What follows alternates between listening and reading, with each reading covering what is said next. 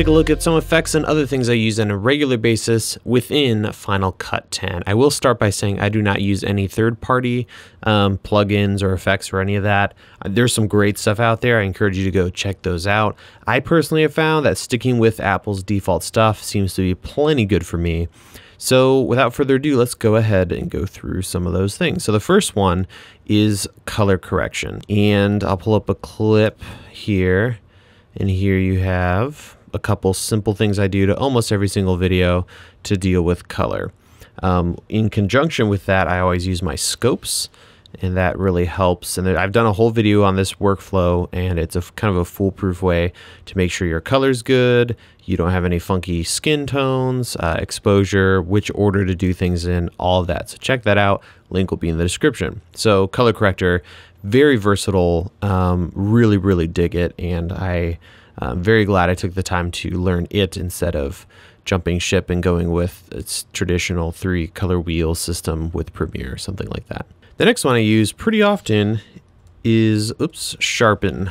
Um, often, almost every video actually, I do two cameras and it's really just one camera. I just crop in and on that crop in, which you're looking at right here, I add a little bit of sharpening. So let me back out um, of the color corrector and there's Sharpen. Uh, 1.5 seems to work pretty good for a real tight crop like this.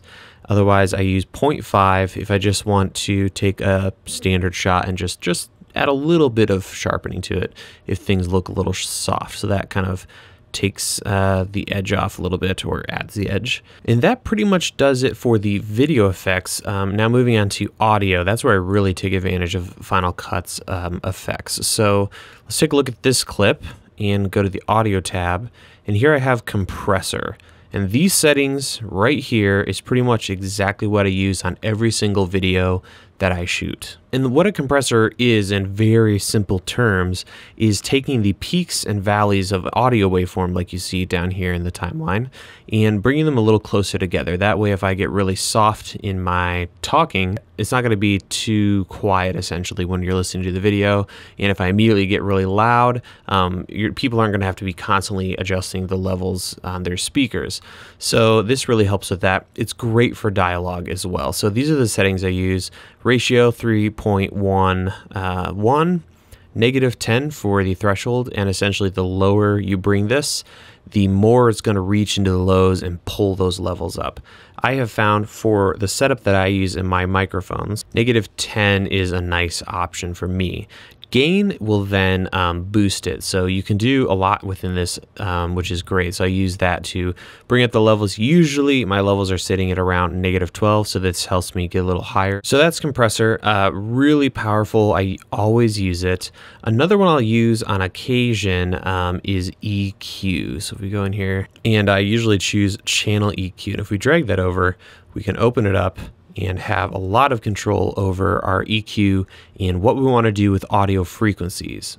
I'll cover this more in depth in a later video, but if you have a bad frequency, you can easily take it out. You can add your own high pass, low pass, lots of amazing flexibility and some really cool tricks here. But that again is going to be another video, so we'll cover that later. Another audio uh, effect I use all the time is the limiter. What's great about this is, let me go back to my main timeline here is if I finish editing a video and I'm happy with the audio, but every once in a while it peaks and goes above zero, which is not the case here. Everything's cool. What you can do is I'll select all, create a compound clip, and then I can drag the limiter over it. And if we go into the audio tab, we can go to limiter and we can control what the highest level is going to be on that entire clip. So um, you can just say nothing goes above zero or any level here and just keep dropping it down until everything's cool. So really easy way. That way you don't have to go through your entire project and be screwing around with uh, your levels there. So compressor helps a lot with that.